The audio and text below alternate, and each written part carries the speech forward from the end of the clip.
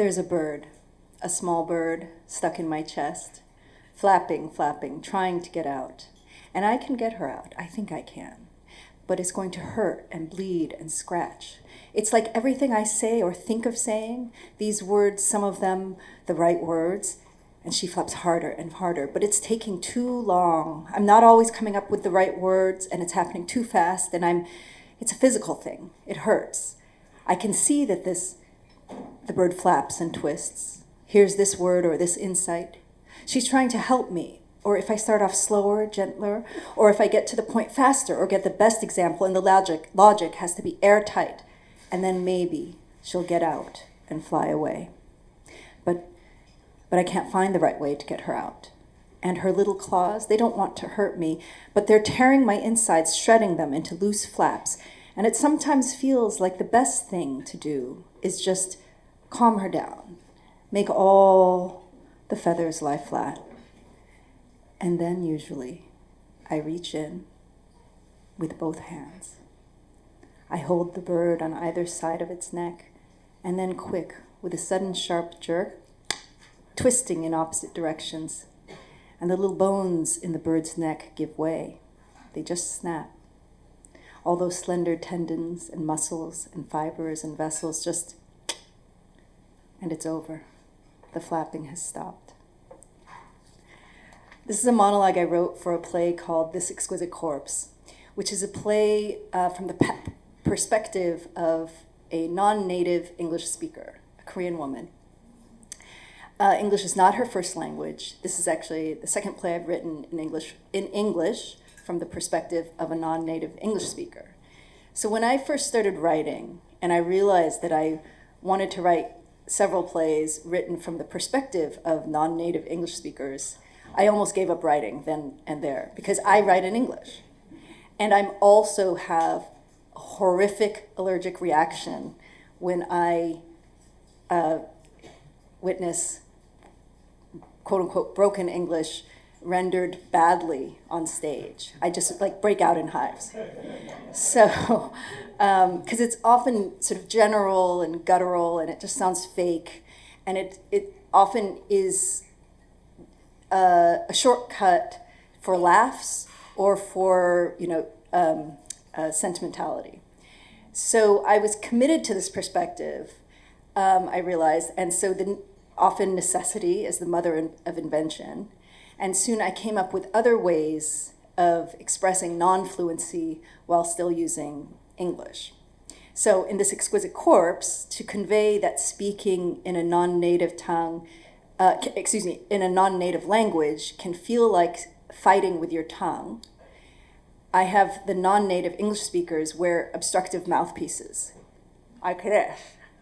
And and she, uh, uh, and then when they speak English to a native English speaker, they can speak fluent English. We understand that there's there's a barrier. um, in my play, You for Me for You, a North Korean woman, Junhee, is the one we understand best. Uh, but her, and and when she whenever she's speaking with Americans for whom English is a their first language, um, the world of language is abstracted so that we understand from her perspective. So the first uh, when she first arrives in the United States, she's uh, greeted by an American uh, who says, "So vaga faraga ti tivara tamanik aizeseri gimeri dadaritun," and then it progresses from there. That so my commitment, as I said, is is to the um, to the uh, non-native English speaker's perspective. That she becomes the one we most can immediately empathize with.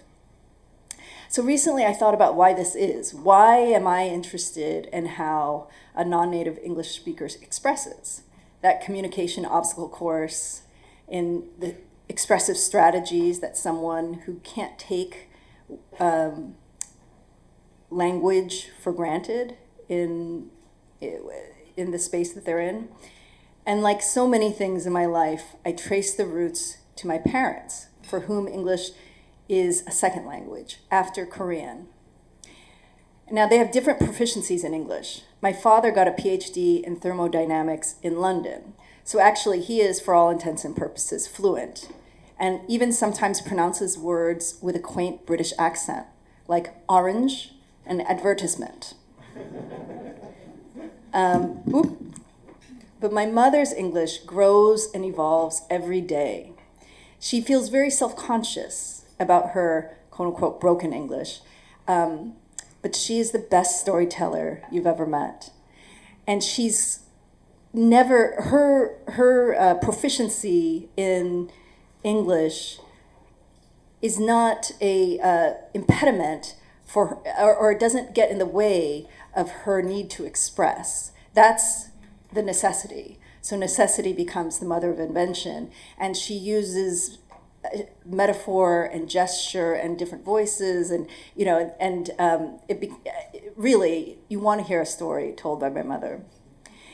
For them, my parents, language hasn't been a barrier. They have led complex, dynamic, and comprehensive lives.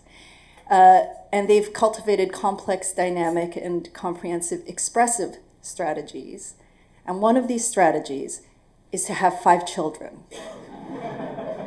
born and raised in the US, an architect, two doctors, a sculptor, and me, a playwright. So um, we are all native English speakers, but our first language is M&D, mom and dad.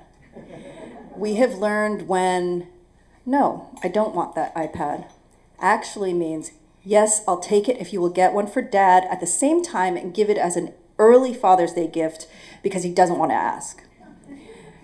Uh, we have learned when a question is an answer, and when your question, what happened during the Korean War, is met with silence, we understand that silence is a nonverbal dissertation on pain. My mother, you know, sort of handles us as um, sort of like, I mean, she's she and my father are very supportive of each of our individual independent lives, and also we are the tools in her chest. So if there's a problem, it depends on the nature of the problem, and she'll sort of take a look and say, okay, this one needs um, drawing skills and endless patience. Okay, that's for Heather, the architect, and Ted. Then when there's something medical, of course, the two doctors, and it's just a matter of, you know, who's in surgery or not. And then when there's writing involved, lots of letters to lawyers or contractors or that was me. Um, to be proficient in M&D, you learn to listen with your eyes as much as your ears. You use patterns and historical records as much as nouns and verbs to understand that a simple question like, Mia, when are you leaving for New York? actually means, can we come too?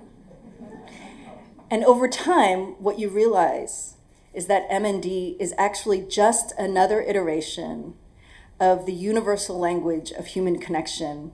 Because no matter what your language, what your fluency, we all speak in silences and indirectness. We all need close listening and to listen beyond the words that are spoken. So that's why when my parents are put in a box or condescended to or underestimated, you just don't underestimate my, da- estimate my dad. Um, their progeny, the five of us, it's like we're the Avengers. We swoop in and like make sure that all the, the, the gaps are filled in. Um, and it, it, to the point where, you know, my mother will have to sort of like, okay, okay back, back off, back off. I think we, we, we made our point. Um, it, the point is that they aren't saints or blameless victims or paragons of perfection. They're just very much multidimensional human beings that, um, because perhaps they haven't found the right adverb or adjective or um, uh, way of uh, pronounce, pronunciation, um, can be uh, minimized. So I'll leave you with this final piece I wrote. It's a monologue looking for a play. Sora has recently moved to the US from Asia. She is an English language learner, but she speaks this monologue without a trace of an accent. Within her interior space, after all, she is fluent. When you have plenty to eat, you grow a large forehead and dry clean your clothes, though you have a closet full of scotch, whiskey, and champagne that you wear under your arms to smell like money. For a headache, you can choose memory foam, an allergy shot, or return with free shipping. Then call in sick as a downward dog, discover your inner hobbies, and massage self help literature, which, if you're lucky, leads to a fling with your GPS on Egyptian cotton, 800 thread count sheets. If you feel stress, you take a vacation that shapes your brows and go to the spa, where you meet with a marriage counselor who gives you a cello lesson detox treatment so you can hit the sample sales and try on antidepressants. She's interpreting the US. Mm-hmm. Thank you so much.